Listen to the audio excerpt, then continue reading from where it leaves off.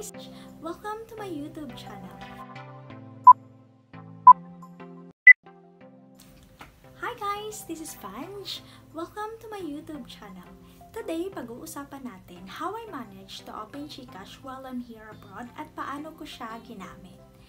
So, everything that we're gonna talk today is purely my experiences. I'm not an expert about Gcash because, to be honest, I just recently opened it and I just want to share these experiences to you. So, I'm not an expert. Again, I'm still learning as I go.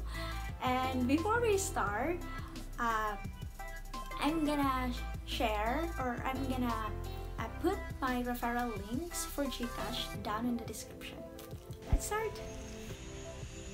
So, yan yung referral links ko sa Gcash. Click nyo lang yan, tapos ito yung makikita nyo. Proceed to Gcash registration.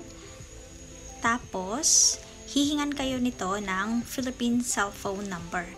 So, para sa ating mga OFW, kung may rooming number kayo, pwede nyo yung gamitin. Pero kung wala naman, pwede yung sa kapamilya nyo. In my case, yung ginamit ko is yung sa mama ko. Since hindi naman siya nag-Gcash or wala siyang Gcash. So, I asked her na gamitin yung cellphone number niya. And then, after that, hihingan kayo ng 6-digit authentication code. So, hingin nyo lang doon sa number na ginamit nyo. And then, type nyo lang dyan. And then, pagkatapos, click submit. Then, ito naman yung makikita nyo. Tell us something about yourself. So, your name, middle name. So, click nyo yung box. Uh, na I don't have a middle name if you don't have one. And then, your last name, your birth date, address, and then email ad. Make sure na yung email ad na gagamitin is functional or yung active. Click next, tapos ito yung makikita nyo. Review your information. So, you have to check your spelling kung tama ba, yung mga dates, tama ba. And then, kung may mali dyan, may edit, may details naman. So, click nyo lang yan. Pero kung tama na lahat, click continue.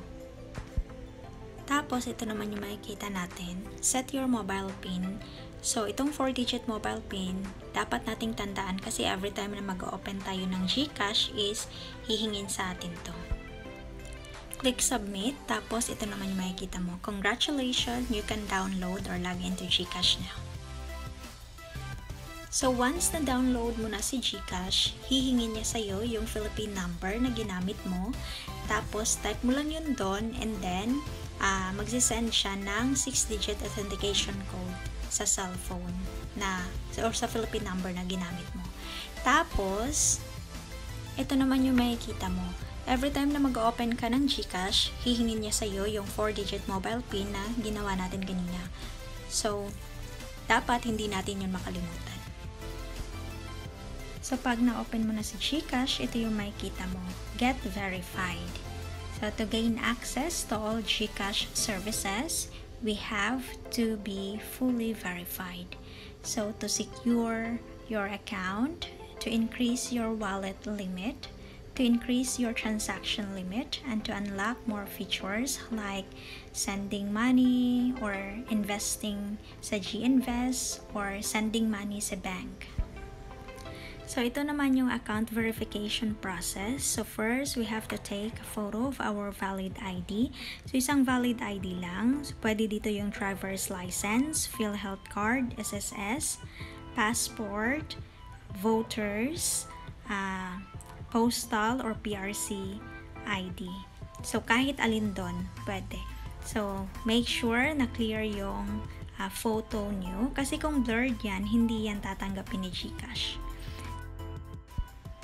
So, pag tinanggap na ni Gcash yung valid ID mo, next we will have a face scanning.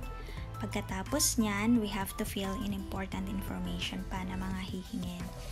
And then, submit lang natin yan lahat. Tapos, wait lang tayo na ma-fully verified yung account natin.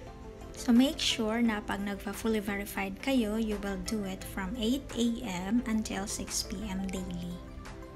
So, in my case, I think nag-wait lang ako ng mga ilang araw. Tapos, pag-check ko ulit, fully verified na siya. So, yun lang. Dali lang siya. So, ito yung makikita nyo once na fully verified na yung account nyo. So, ito yung makikita mo sa Gcash. So, sa taas, makikita mo yung balance dyan. And then, pwede kayong mag-cash in, pwede din kayong mag-send money, pwede kayong mag-save ng money sa GSave, pwede kayong mag-buy ng load, pwede kayong mag-pay pay ng bills nyo dyan, pwede din kayong mag-invest sa GInvest. So, in our next video, pag-uusapan natin yan. Kung paano ko ginamit si Gcash dito sa abroad. That's it. I hope that you learned something and please comment down below. So if you have any question too, please leave a comment. And if you're new to this channel, please do not forget to subscribe and also click the notification bell button. So hanggang sa muli, paalam!